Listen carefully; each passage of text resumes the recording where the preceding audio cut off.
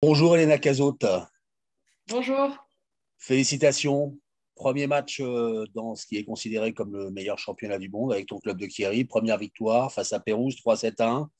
Des stats incroyables. Comment tu t'es, on reviendra sur les stats tout à l'heure. Comment globalement tu t'es senti hier pour euh, voilà, ta, première dans le, dans le, plus grand championnat? Euh, Oui, c'est vrai que donc, c'était la, la première. J'avais vraiment de de commencer euh, la saison. Je pense que toute l'équipe, euh, euh, en plus, elles, ont une préparation beaucoup plus longue que moi, parce que moi, je suis arrivée que début septembre. Mais elles, depuis août, elles y sont. Donc, on avait vraiment hâte de, de commencer, de commencer le championnat. Et puis, en plus, avec une victoire, donc c'est encore mieux. Et puis, moi, je me suis bien sentie. J'ai j'ai joué relâché. Et, et puis, voilà, j'ai fait un, un, match qui est, qui est correct. Donc, donc, je suis contente. Et puis, et puis on verra, il faudra que ça dure. Correct. a des stats incroyables 24 points, 3 aces, 17 points à l'attaque, 4 blocs, 93% de bonne réception. Correct. C'est un, match, euh, un match incroyable. Donc tu t'es vraiment senti, euh, senti à l'aise?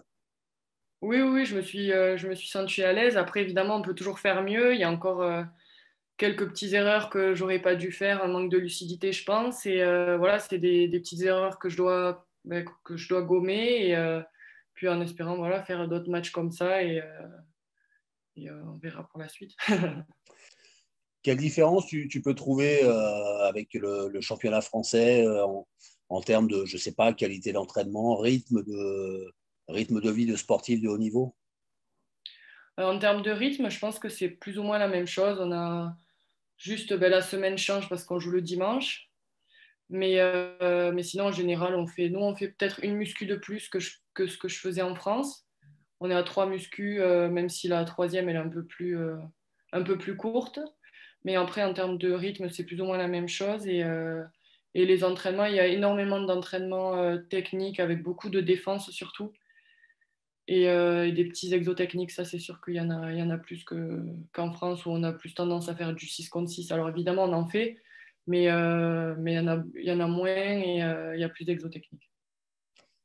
Qu'est-ce que tu vas retenir au-delà du titre MVP Félicitations de, de ce match. Qu'est-ce que tu vas retenir de, de cette, euh, ben, de cette première? Ben, Je pense qu'il y a eu énormément de, de bonnes choses qu'il va falloir garder collectivement et il y en a d'autres où, où, voilà, on va devoir s'améliorer et on le sait notamment euh, sur les, bons, les moins bons ballons, de plus euh, gérer au lieu de faire une faute directe. Et on a vu qu'en plus, ça marchait, notamment euh, dans le dernier set où on est quand même mené 17-11 et on arrive à, gagner le match, donc gagner, gagner le set et gagner le match derrière. Donc voilà, je pense qu'il faut juste qu'on gomme ces petites erreurs, surtout au mauvais moment, qui nous font, ben, qui nous plombent en fait. Et, et puis après, je pense que notre état d'esprit a aussi euh, énormément joué sur le fait qu'on ait su inverser la tendance et ben, passer de moins 6 à, égalité et à plus 2, il me semble. Donc, euh, on n'a rien lâché, on a, on a vraiment donné tout ce qu'on avait euh, et, puis on a vu que ça marchait. Donc, je pense que l'état d'esprit, on va continuer à, être des guerrières. Merci beaucoup, Elena. Félicitations. Merci. Et ben, à très bientôt, hein, parce que dès que tu vas être MVP, on viendra te voir. Donc, euh, ce sera avec plaisir. Ça marche, merci.